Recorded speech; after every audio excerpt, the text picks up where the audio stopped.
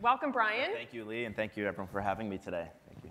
So um, it's great to see you. I've been doing a lot of talking about you, so it's Yeah. great to actually talk with you because I'm sort of on a book tour now. But um, uh, first off, where are you staying most critically? I am staying in Airbnb in Harlem on, I think it's near 125th Street. It's with uh, these two hosts, um, Matt and Gina. They are um, interior designers, and so it's like, it's a, it's a brownstone. You walk up, and actually it's really cool because they travel a lot themselves, and they try to pick up something every place they travel, and they bring it back. And so they've got like these saddles from when they went horseback riding. So it's a really cool experience. And of course, my mom's here, my girlfriend's here, so we got to cook food last night in the house. So Great, it's really excellent. Fun, yeah.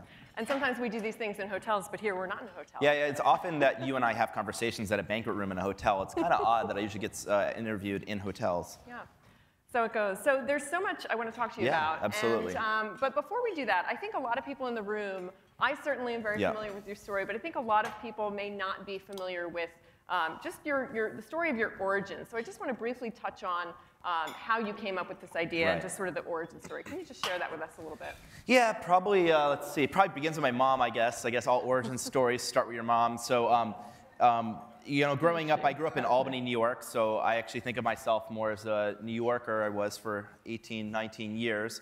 And um, my parents are both social workers growing up. And, um, you know, my mom, I remember my mom giving me advice when I grew up. She said, um, you know, Brian, we, your father and I, we chose a job because we love it, but we didn't really get paid a lot, so you should mm, choose a job for the money. And so, like, it was very obvious. And so, like, we we're looking at, like, what jobs pay a lot of money. And so one day I told my mom, like, you know, I think I'm going, I'm gonna go to the Rhode Island School of Design. I'm gonna become an artist. At which point she said, you somehow managed to pick the only job in the world that pays less than a social worker. You'll get paid nothing. And I said, I'll, I'll make an income. I'll get a job, I promise. And she said, Well, I do want you to promise me that if you get a job, that that job has health insurance one day. And so this was the kind of beginning of my endeavor. I went to RISD, and it was totally different because at RISD, everyone was making stuff. They were like, they, they embraced entrepreneurship. And um, I graduate RISD. I get this job at health insurance. I'm living in LA, but one of my best friends at RISD was this guy that, um, named Joe Gebbia. And Joe Gebbia and I were like these kind of entrepreneurial people on campus. And like we both started sports teams at art school. That's the hardest marketing job in the world, get an artist to come to a sports game. And Joe lives in San Francisco at this point. This is like 2007. And he's trying to get me to come to San Francisco. He's like, Brian, come to San Francisco. We're going to start a company together. We're going to start a company together. And I'm like, having this job in LA. And I remember at one point, my life was like, I was in a car, and the road in front of me looked exactly like the road behind me. And that kind of terrified me, and I wanted to take a detour. So I have this moment, I'm sure all of us have these moments in our life where we make a change and everything changes after that. I quit my job, and I, I uh, put every, I have an old Honda Civic. I put everything I own in the back seat in the trunk of old Honda Civic, including a rolled up foam mattress. I have $1,000 at the bank, and I call up Joe, and I said, I'm coming to San Francisco. And, you know, it turns out that Joe said, well, the rent is $1,150. So I actually can't pay rent. It turns out that weekend, this international design conference is coming to San Francisco. All the hotel, we go to the hotel, we go to the conference website. All the hotels in the conference website are sold out. As we had this idea, we said, well, what if we just turned our house into a bed and breakfast for a design conference? Unfortunately, I didn't have any beds, but Joe had three air beds. We pulled the air beds out of the closet. We inflated the three air beds. We called it the air bed and breakfast. Yeah. yeah, yeah. I love that noise. Um, and yeah, so that's how it started, airbedandbreakfast.com. So I guess the answer is no. When I started airbedandbreakfast.com, I didn't think I'd be at the uh, New York Stock Exchange. Um, and um, we ended up hosting three people, a 35-year-old woman from Boston, a 30-year-old from India, a 45-year-old father of five from Utah. But what ended up happening was we ended up becoming friends, and we made enough money to pay our rent. At this point, we say, you know, we're ordinary guys. I bet you there's a lot of other ordinary people like us that want to make some extra money, meet cool people. I asked Joe, I said, well, who's the best engineer you know? Joe said, well, my old roommate Nate is. And so the three of us got together, and we had a simple idea. What if you can book someone's home the way you could book a hotel anywhere in the world? And that's how it started. And cut to today, uh, where you have, as Terry said, I think it's more than 160 million guest arrivals, Yep. as you call it. Yep. Two million people stayed in Airbnb on New Year's Eve alone that night. And, uh, and you're worth $30 billion, or maybe it's 31 as of last week, I read. So I just, I should have done this before, but does everyone know what Airbnb is? Please raise your hand if you know what Airbnb is, because you still sometimes have to ask. Okay, Anyone ever stayed in Airbnb? used it? Anyone's kids stay in Airbnb? I usually get more hands. Um, before we get on to other stuff, just one thing that really surprised me about this whole story that you don't often hear about is how hard it was for you guys once you decided to this was going to be your idea to get it off the ground. Right. People fled and ran away from this idea. People thought this was crazy. We were trying to, um, in summer of 2008, um, I, have a fr- I, I meet a, a guy named Michael Seibel. And Michael Seibel says there are these people called angels, and they'll give you money. And the first thing I thought is, I can't believe this guy believes in angels. So that's how naive I was. And he introduced us to about 20 angel investors and a couple venture capitalists. At that point, we were trying to raise $150,000 um, at a $1.5 million valuation. So we would have tried to sell- Million with an M. yeah, so 10% of the company. And uh, 20, probably got 20 introductions. About 10 to 12 or 13 probably didn't meet us. We probably met a half dozen people. Uh, people mostly ran away from the, well, everyone ran away from the idea. No one funded us. Uh, I guess three, uh, three reasons, or two reasons. The first reason was Joe and I were designers, and as far as they were concerned, designers didn't start companies. Like, we didn't look like a tech founder, which I think is ridiculous because I don't think you should ever hire someone because they look like something else. Like, you want a new thing, well, maybe they'll look different. But everyone was looking for either the Zuckerberg Or the- model, a like, Harvard coder. If you didn't drop out of Harvard or, or- you didn't drop out of a PhD program at Stanford, well, you weren't going to be the next Google or Facebook. And the point was, well, like the previous tech company uh, founders didn't drop out of Stanford. So it was a little absurd. But the bigger issue was people asked, well, first of all, how many airbeds are there in the world? In fact, when we were trying to do our first investor deck, we had to create a total addressable market. And so the first thing we thought is, well, how many airbed sales are there? And this is before we actually realized, like, because one day somebody said, like, I want to rent my whole, I want to rent my bedroom. And I said, well, all you have to do is get a mattress, inflate it, and put it on your mattress. And I thought at some point we should open the model up. Very narrow. But, but the bigger problem was a simple idea. People did not think strangers would stay with other strangers. They thought it was crazy. In fact, I remember, I, if you think you've written about this, but uh, one person told me, he said, Brian, I said, yes. I said, he said, I hope that's not the only idea you're working on. And at some point in late 2008, one of the investors told us, because the financial crisis hits, and he goes, listen, the financial crisis is, create, is hit, the stock market's cratering. I can't even invest in good companies. You're going to invest in airbeds? And so that kind of hit home. So we ended up not raising money, and we ended up providing how, like, we, we, we, we say we did the Visa round. This is a joke Joe says, which is basically we got, you know, those binders we put baseball cards in, we just put credit cards in them. So we probably each of us racked, like, I think I racked up like $25,000 of credit card debt. So we just, you know, until they stopped giving us credit cards. And then um, late 2008, we provide housing for the Democratic National Convention in Denver. And then we didn't make a lot of money with airbeds, so we thought, well, if we can't sell money with airbeds, we're airbed and breakfast. Let's go into the breakfast business. So we took a weird detour, and we ended up making collectible breakfast cereal, um, Barack Obama themed breakfast cereal for the Democratic National Convention. We took Cheerios, we called it Obama O's, the breakfast of change, and we had a John McCain theme- themed cereal, Captain McCain's, a Maverick on every bite, and we basically handmade like cereal box in our living room in 2008, made $30,000 selling collectible breakfast cereal, and this is actually how we funded the company. At late 2008, my mom asked, "Are you a cereal company now?"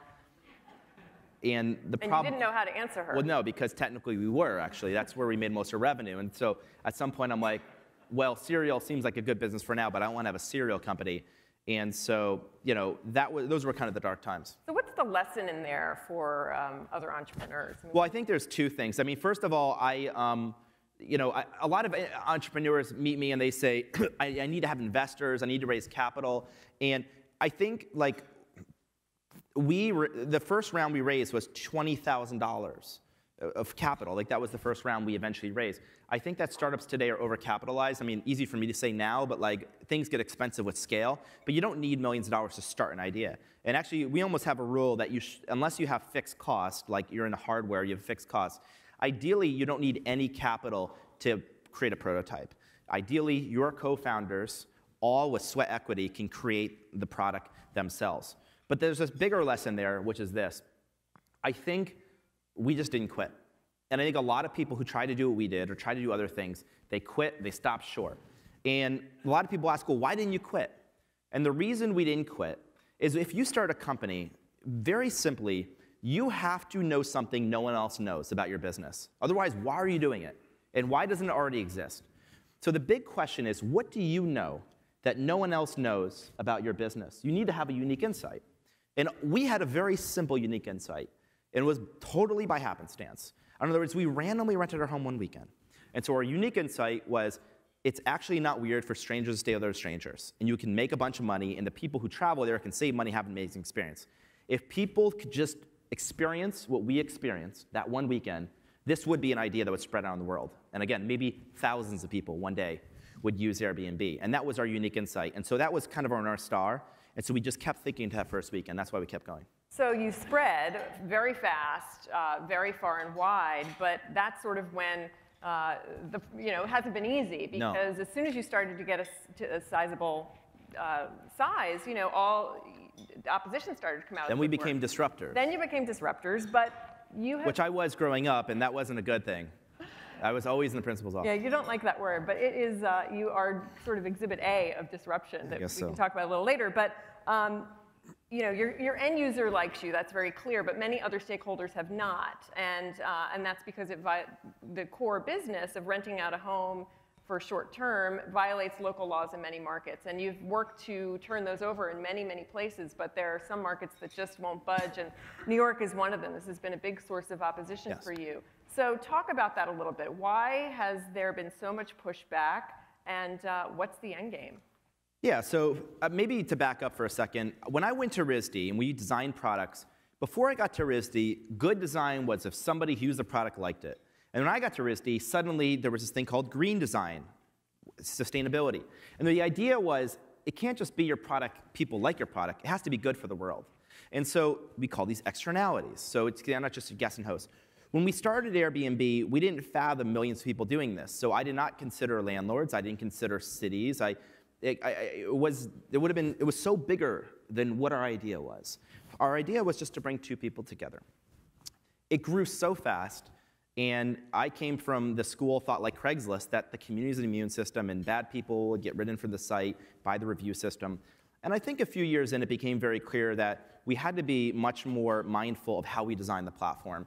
And we hired some great people. One of the people we hired early on who had a huge influence on me was Belinda Johnson. She's our Chief Business Affairs and Legal Officer. And she was a lawyer by training. And she told me something very simple. See, growing up, I felt like if people didn't like you, you kind of stay away from them because like you're going to get in a fight and that's really bad. And she said, if you have to meet with people, you have to meet with cities. And even if they don't like you, it, if they hear your story and you hear their story, you can come to resolution. You have to partner with cities.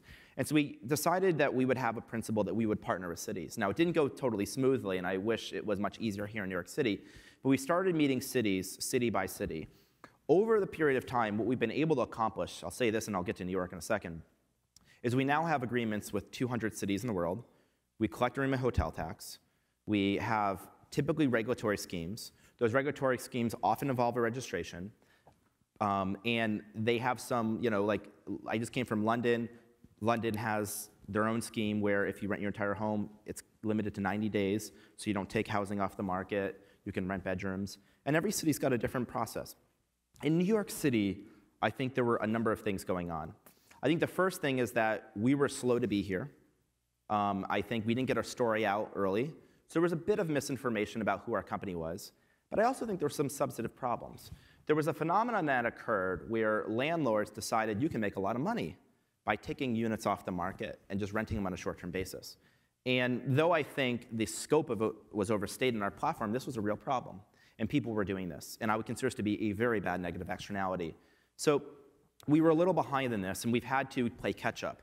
And so in New York City, we've done a number of things. we've made clear we want to pay collect and remit hotel tax like we do in San Francisco and Chicago and all these cities around the world. We want to limit hosts to one home, um, so just the home you rent. And I think the basic premise we want is if a city is uh, in a housing constraint, San Francisco is in a housing constraint, New York City is in a housing constraint, we want people to rent the homes they live in, not take off units off the market. And so right now, we've um, San Francisco instituted a cap. They figured after X number of days, you probably don't live there, and so we work with those caps. And this is how we've decided to use it. The last thing is landlords. I know there's some major landlords in this room, and I know not all of them love to have this activity in their building. And so we've we're instituting, in the process of instituting, a like friendly landlord program where landlords can sign up and we can allow them to get information about who's in their building using it. They can get they can even get a revenue share of the income, and it and it, they get the peace of mind knowing like the rent check's probably to come. And we're trying to get much more tight around people understanding the rules and regulations of their city and their buildings, and to get I think get a bit more hands-on. And so you have to do these like kind of counterintuitive things. And this is what Jeff Bezos did. This is what Steve Jobs did. This is what Walt Disney did. I mean, Walt Disney bet the entire company on Disneyland. It seems obvious today. And he took the very best animators, and the studio was really angry. So one of the things that's interesting to me about this move for you is that your first product, the, the, the way that Airbnb was created and became viral and became huge was almost by accident. I yeah, mean, you had this totally idea, accident. didn't think it was going to work, and lo and behold, it was transformative. Yeah. And so now you have kind of the opposite of that, where you spent the past few years sort of developing this product in, in the Airbnb lab, Right. and now released it onto the marketplace. Right. This is what we made for you. So how is that better or, or, or worse or just different? I'd say different, unclear if it's better or worse. I think there was an element of luck involved with the founding of the company. I mean, I'm, we're lucky that we chose homes first and not, like, if we chose trips or experiences first, it wouldn't have worked because you need demand and people aren't searching for experiences, they're searching for places to stay. So it was better as an add on to start. Um, the major thing is that you launch, you get a lot of user feedback. So I don't think it, I, I, think both are fine. Like Amazon, Apple, they all were very intentional about their second or third, fourth products. Everyone's first product was totally by accident for the most part. Um, so that's, I don't find that being a defining factor. I think the key is, do you put the best people on it or really talented people? Does the CEO spend more of their energy on the new stuff, not the mature stuff, which I think is important? And are you constantly testing? And the other thing is a lot of, oh, one other reason companies fail is a great story of why did like California Adventure not succeed in Disney uh, for Disney. So Disneyland, next to Disneyland is this thing called California Adventure. It's actually now doing pretty well, but initially was a huge failure. And the reason it was a huge failure was there was like 50 executives who went to an offsite and they were basically trying to figure out what a new park should look like. They basically violated most laws of how to build a great product. They realized, well, actually we make a lot more money on food and beverage than rides, so we're gonna have way more restaurants. We're gonna serve alcohol so parents can drink. We're gonna do a California theme park in California, even though most people visit from California. So it was basically created in a business plan. It was actually an amazing business plan. The only problem is people don't want it. And so then they had to basically redo the park with a multi billion dollar renovation. A lot of products fail because they start as business plans. And the problem is, the only thing that really matters is that people want it. And your customers do not care that you're successful. In fact, sometimes they do not want you to be too successful because they want to know that they got the value. And so I think the key thing is are you making something that people want?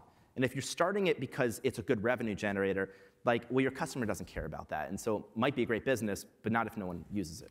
Well, we're almost out of time. I just have one more question. Um, I talk about your future and um, in, in the book and say that your 10-year goal is to be the first online travel company to reach $100 billion in market value. Is that right or not? No, I mean, I, I, I, think a market cap goal is not a great goal.